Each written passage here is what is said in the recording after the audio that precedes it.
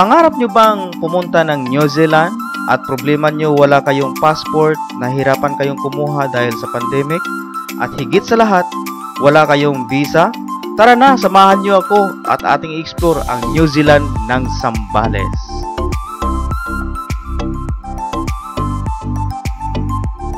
Mga kabayan, at uh, papunta tayo ng uh, New Zealand at uh, dito tayo tinuro ng mga presidente na dito tayo dadaan.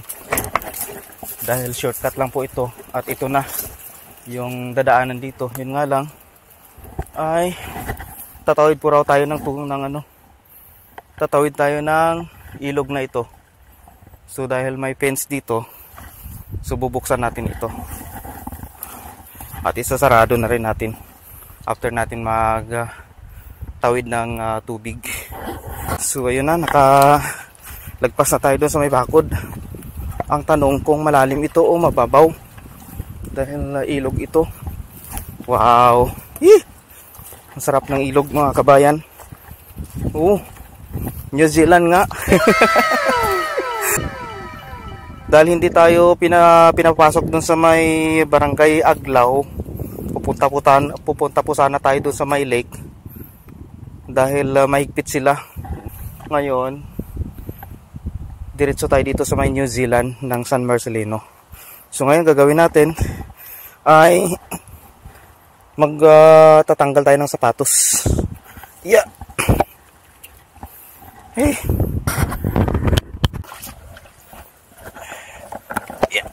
Bahati natin. Malamig ang tubig. Mabato pala ito. Malakas yung agos niya ito po yung karugtong mga kabayan ng uh, lake na pupuntahan sana natin. Mabato wala kayong iguana dito. Ah. ang ganda ng lugar na ito. Aray ko, masakit sa bato. Ah, pwede pala maligo dito. Oops. Ito naman, mainit ang tubig. Saan kaya galing to?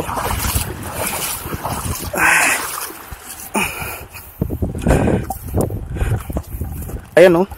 Daming ko ano. Ah, tinatawag dito. Yung binibinta na ano ito? Yung pinapakain sa mga alagang manok yan hmm, dami may mga kalabaw doon oh hindi kaya tayo hindi kaya tayo bulin yan. Welcome to New Zealand. Sarap ng hangin dito mga kabayan. Talagang uh, mapapa-relax ka talaga. Nabawi yung ating pagod dahil napunta natin yung uh, New Zealand ng uh, San Marcelino San Bales. O oh. wow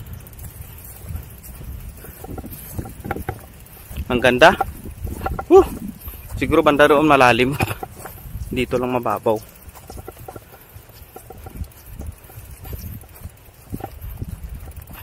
may kalabaw doon me ginawang kambing, you know. Mu! Mu! ang lawak mga kabayan. Ang ganda. Kaya pala tinatawag ito na New Zealand. At saka ang gaganda ng mga pine tree. Ang tataas. Woo! Sarap. Sarap mamuhay dito. Simple lang, no? Mayroon kang pag-aari na ganito. Shoutout nga po pala sa may-ari nito. Uh, kay uh, Rodriguez uh, Rancho. Marami na rin pala mga bikers dito na nawamasyal mga kabayan kasi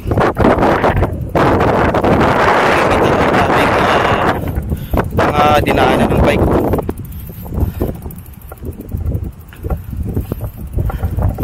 At uh, nung nakaraan nandito si uh, Idol Exarlin Andito si Idol Ixar uh, Lim.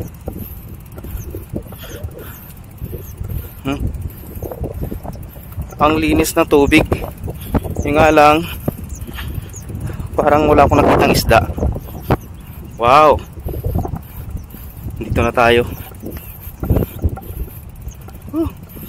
ayun may kubo doon mga kabayan no, sa dulo.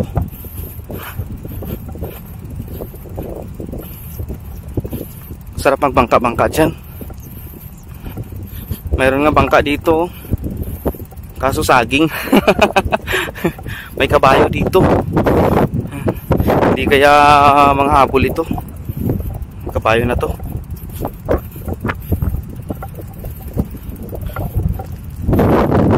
Ah alis din sila pag tao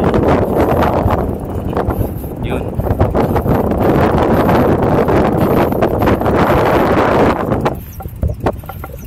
Ang lapad pala nitong lake na to yung dugtong lake Naloko na. takot sila. Saan tayo dadaan? Ayun ang daanan bakit tayo lumayo yan oops yeah. alright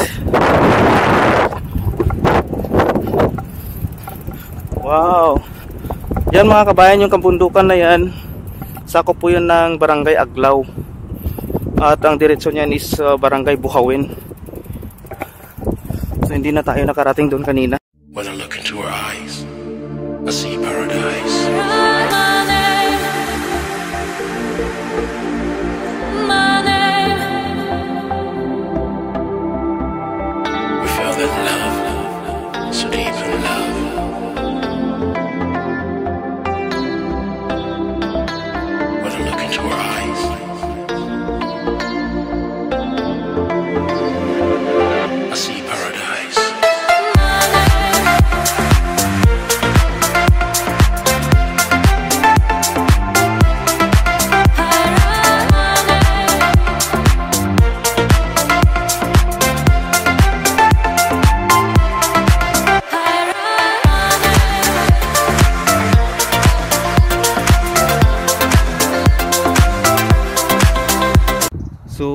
Ayan mga kabayan at uh, mag uh, lunch muna tayo. Yung ating ila-lunch ngayon, yung tinapay lamang kasi wala pa tayong baon na uh, rice. At uh, yung tinapay na to binili po natin to bago tayo bumaba diyan sa may uh, kabundukan na yan at uh, tumawid ng uh, ilog kanina. At mabuti naman at uh, mayroon mga mababait na mga residente na tinuro tayo para mag-shortcut. Yun nga lang medyo matarik pa baba at uh, muntik pa tayo at muntik pa tayo kanina mawala pero glory to God at uh, nakarating po tayo dito sa may uh, New Zealand ng uh, San Marcelino, Zambales. So ayan. At uh, kung makikita nyo mga kabayan sa likod ko yung mga malalaking uh, pine tree at uh, relax na relax. Kahit maghapon ka dito mga kabayan, nakakawala ng ano, nakakawala ng uh, stress. Talagang yung isip mo talagang wala kang ibang isipin kundi ala hindi ka magsasawang mag uh, gala dito hindi ka magsasawang mag-ikot-ikot dito. Ako nga hindi ko nga alam kung saan palabas dito eh. Kasi nag-shortcut lang po tayo kanina. And uh, mamaya magtanong-tanong po tayo dito sa mga nagtatrabaho dito kung saan yung daan palabas. At uh, ayun uh, mag uh, lunch muna tayo yun ang ganda oh. Wow. Ang ganda mga kabayan. At uh, ini-encourage ko na pasyalan nyo rin po ito yung uh, New Zealand ng uh, San Marcelino, Zambales. So ayun po mga kabayan.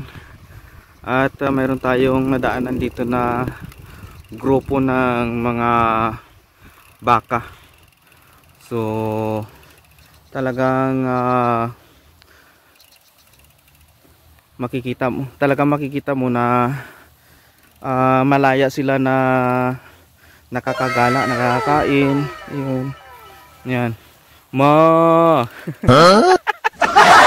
Oh, yan. At nagsisitinginan sila sa atin. Sabi niya sino kaya ang pogi na to? Naloko na. okay mga kabayan. At uh, naikot ko na po kayo dito sa may uh, New Zealand ng San Marcelino, Zambales. At uh, ako po ay uh, uuwi na. At uh, medyo malayo-layo pa yung ating biyahe.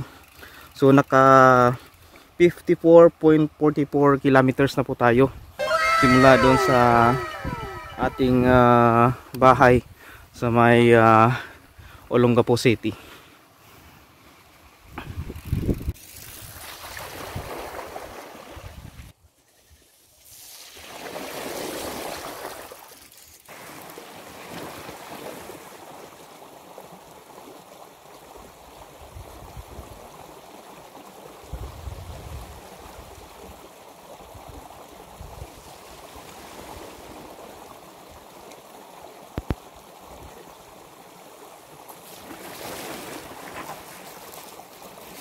So ayan mga kabayan at uh, itong dinaanan natin ngayon pa uwi ay uh, lahar.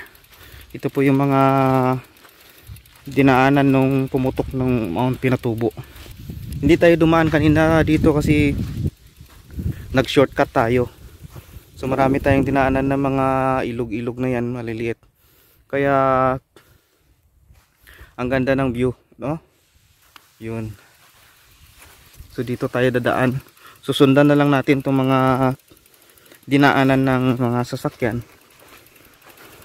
Banda roon mayroon na naliligo ng mga kabataan.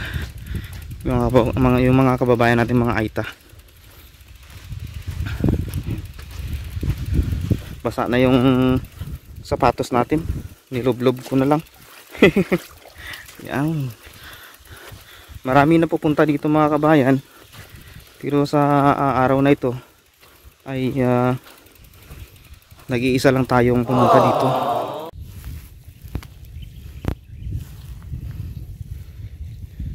So makikita niyo mga kabayan at uh, dito na po tayo sa lumagpas na po tayo doon sa may mga lahar na yon at uh, maraming mga pine tree pa rin na mga tumutubo. So at ang paligid nito ay puro bundok.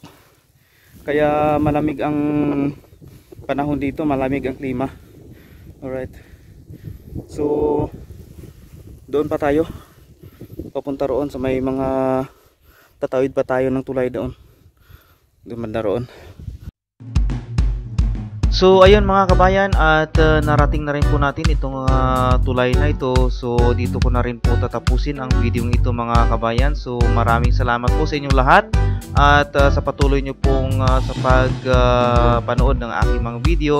Hope ay uh, na-enjoy po kayo mga kabayan. So kung nagustuhan nyo ang video ito, please don't forget to subscribe, like, and pakihit na rin ang notification bell upang po kayo ay laging updated sa aking mga video.